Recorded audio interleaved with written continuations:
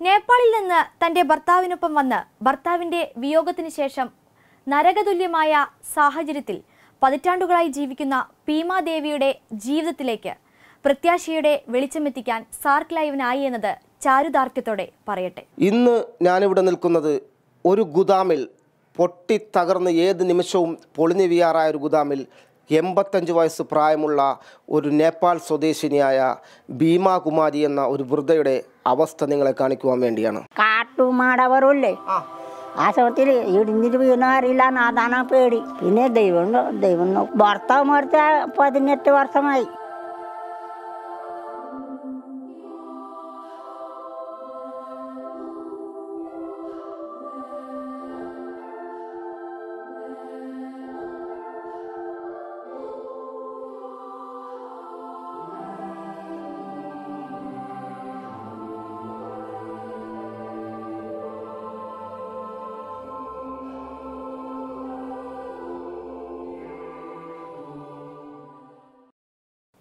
മട്ടാഞ്ചേരിയിലെ ഞങ്ങളുടെ റിപ്പോർട്ടർ രജനീഷ് ബാബുവിന്റെ അവസരോചിതമായ ഇടപെടലാണ് ഈ ദൗത്യം ഏറ്റെടുക്കുവാൻ സാർക്ക് ലൈവിനെ പ്രേരിപ്പിച്ചു ഈ അമ്മയ്ക്ക് അമ്മയുടെ നാട്ടിലോട്ട് തിരിച്ചു പോകണമെന്ന ആഗ്രഹമാണ് ഈ അമ്മക്കുള്ളത്.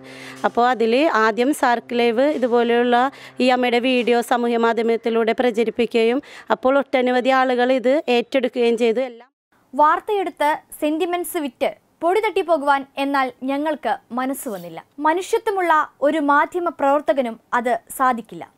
അതിനാൽ തന്നെ ഭീമാദേവിക്ക് വേണ്ടുന്ന എല്ലാ നിയമസഹായങ്ങളും എത്തിക്കുവാനും സർക്കാർ ഇടപെടൽ ഭീമാദേവിയുടെ വാർത്തയിലേക്ക് എത്തിക്കുവാനും ഞങ്ങൾക്കായി.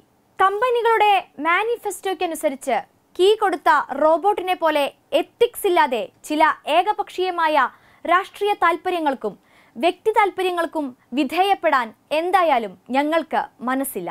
എല്ലാ പരിമിതികളെയും അതിജീവിച്ച് നിഷ്പക്ഷമായി സ്വതന്ത്രമായി അതിലേറെ സമാധാനമായി വിഷയങ്ങൾ കൈകാര്യം ചെയ്യുവാൻ ഞങ്ങൾക്കാകുന്നുണ്ട്. ഇനിയും വരും സമൂഹത്തിലെ അനീതിയെ ചോദ്യം ചെയ്യുവാനും നിയമം എല്ലാവരിലേക്കും തുല്യമായി എത്തിക്കുവാനും ചിരിപ്പിക്കുവാനും ചിന്തിപ്പിക്കുവാനും. അലങ്കാരങ്ങളില്ലാതെ ആരവങ്ങളില്ലാതെ ന്യൂസ് റൂമിലെ കോട്ടിട്ട ജഡ്ജിമാരാകാതെ. സാർക്ക് ലൈവ് എന്നും നിങ്ങൾക്കൊപ്പം.